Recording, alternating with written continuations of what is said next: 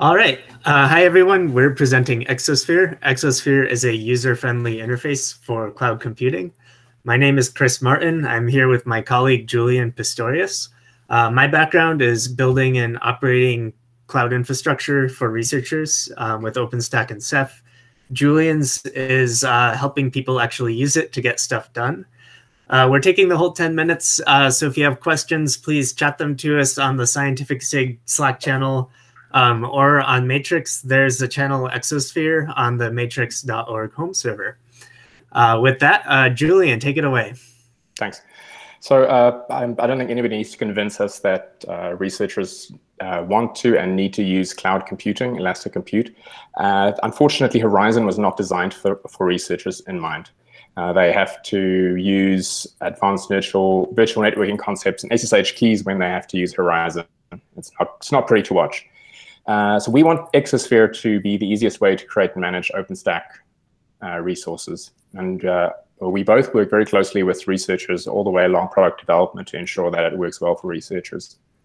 Uh, knowing that uh, we can't solve all user interface issues with GUIs, we, we, let, we want to make sure that we get out of the way and allow people to go and use um, OpenStack directly if we need to.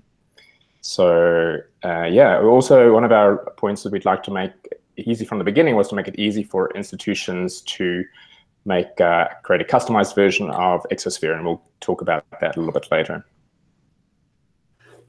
All right, so now let's uh, jump into the demo. Uh, this is Exosphere running in my web browser, trusting you all can see it. Uh, there is there's no magic here. This is just a web application, client-side web application that's talking directly to OpenStack clouds um, via a proxy server, so that the browser can make secure connections, secure API calls. All the brains, all the code is running right here uh, on try.exosphere.app. So this is what our login prompt looks like. Uh, just to show you that there's no magic, you enter your Keystone credentials here we use uh, unscoped tokens and application credentials, so you don't need to specify a project. We show you a list of all of your projects, and you get to multi-select uh, which ones you'd like to log into. Uh, you can drop an OpenRC file here. Uh, we also support single sign-on with uh, OpenID Connect, which we'll show you in a couple minutes. So let's go ahead and launch a server.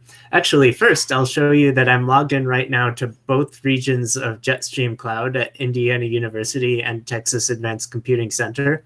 I'm also logged into the Nectar uh, Australian Research Cloud and uh, Tombstone Cloud at Cyverse, which is hosted at University of Arizona. So I'm logged into four different OpenStack providers across three different organizations all in the same user interface. You can manage all of these from the same place. All right, so creating an instance. I'm choosing an Ubuntu 20 and I get to choose a name. Wow, that's a good one, but I'm gonna call this Hi PTG. Uh, get to choose a size. Uh, you can create a volume backed server, choose a root disk size. Uh, we'll just pick the default for now. I can create more than one server at a time. Let's create two of them. Uh, graphical desktop environment. This is a feature in progress now. Um, we've got some advanced options. I'm going to skip the operating system updates uh, despite the warning just to make this faster. Uh, choose an SSH key because I have one, but again, that's not needed. Uh, user does not need to know anything about SSH key pairs to use Exosphere. We offer a one-click uh, shell uh, terminal in their browser. Um, and I'll show you how that works.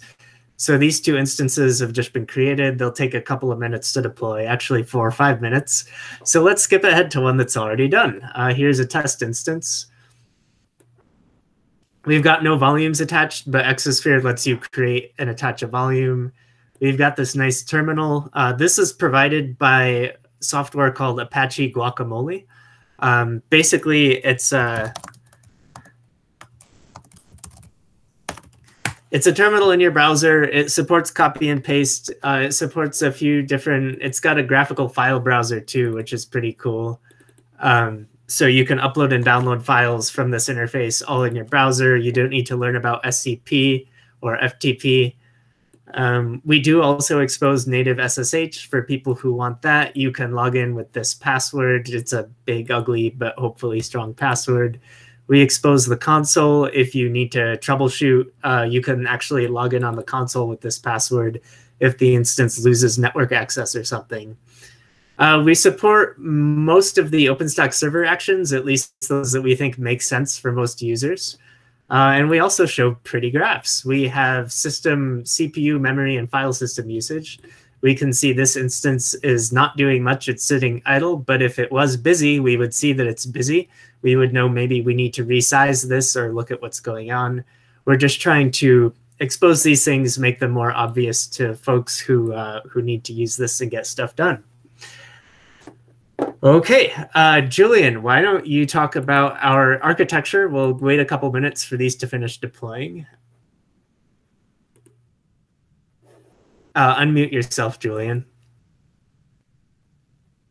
Oh, there we go. Uh, so uh, as uh, I mentioned earlier, Exosphere is very easy to deploy because it is a, entirely a, a client application. There are no server-side components that is not uh, already provided by OpenStack. We have a couple of simple proxies in order to do CORS uh, requests with the OpenStack APIs and a user application proxy to have secure, easy access to RStudio, Jupyter Hub, things like that. Um, so it can be hosted on any service that can host static files like GitHub pages or GitLab. And uh, the uh, Elm is written, uh, sorry, Exosphere is written in Elm, which is a, a pure functional statically typed programming language. It generates HTML and JavaScript. And because of the static type uh, checker, there are no runtime exceptions, which is very nice for us for a, a maintainable code base. And yeah, we make it very easy to white label the application. Uh, CMAP shows the X, this is the Jetstream version. And that is just uh, set up by a simple JSON file that contains branding, localization, help resource links, things like that. And I think that's it from me. All right, so a bit about our future plans. This is a glimpse of our roadmap, uh, which you can shape and influence uh, as community members. Um, but what we've got so far is an integration with data science workbenches, uh, including Jupyter Hub and RStudio, possibly others. GPU accelerated streaming desktops, uh, which we will deliver with just one click from the interface. Uh, also using Guacamole, um, using GPUs at Jetstream and other research clouds. Uh, support more of the OpenStack API. Um, there's stuff that we just have to build the buttons and API calls for, so that's just work to do. Uh, community community curated recipes for reproducible workflows. Uh, we have a bunch of ideas on this. We haven't built anything yet, but we think we understand how other solutions fall short, and we think we can help. Uh, supporting containers as first class objects. So instead of creating an instance to create a container in the instance, you can just create a container and the plumbing all happens for you. Uh, more single sign-on integrations. Uh, like I said, we already do uh, OpenID Connect uh, with the Jetstream specific site. You can add your XSEDE account that way, but uh, we're gonna add, we we're open to adding more, and we're interested to hear what other people use. Uh, enhancements for sensitive and regulated data. This is like ITAR, HIPAA, FERPA type stuff. Um, just a few tweaks, uh, well, more than tweaks to make to support those. Uh, custom theme builder. Uh, so you can already build a custom theme by writing JSON manually. Uh, we're also going to build a graphical theme builder. So you pick your colors and upload a picture. Uh, finally, workshop specific features. This will be um, features to help workshop facilitators uh, to mentor participants, uh, help people who might be stuck, um, help workshop participants have a smoother experience. Okay, uh, back to Julian for our wrap up and call to action. Uh, so uh, we would like you to try out um, uh, Exosphere yourself. You just whatever OpenStack you have access to. Uh, engage with us. We'd like you to, uh, we have a very open development process guided by people's needs. We'd like to hear about your community's needs and how, um, how we can help researchers. So yeah, thank you very much for this opportunity. Yep. And just so you all know, these servers, these instances did finish deploying. Uh, so we're about six minutes in. Um, so uh, the demo worked.